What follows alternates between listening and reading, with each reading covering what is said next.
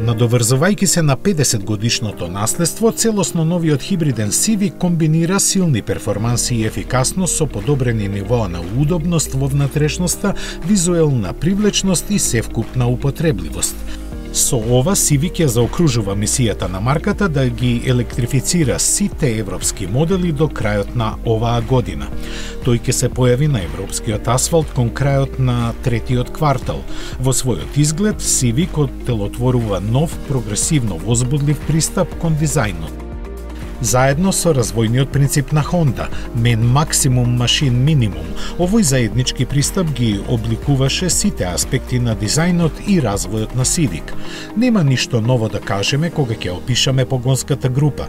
Наставката и HEV се однесува на хибридно електрично возило, чиј мотор е поврзан со нова литиумионска батерија од 72 келии, што ги напојуваат двата компактни, но моќни електромотори.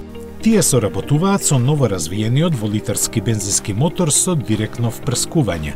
Погонската група испорачува максимална мокност од 135 киловати и 315 Нм вртежен момент. Од лансирањето во 1972 година Honda го има испечатено Civic повеќе од 27,5 милиони пати и распоредено во 170 земји. Целосно новиот Civic се надоврзува на предходните генерации и ветува дека ќе постави нови стандарди за класата кога ќе пристигне во Европа од есента 2022 година.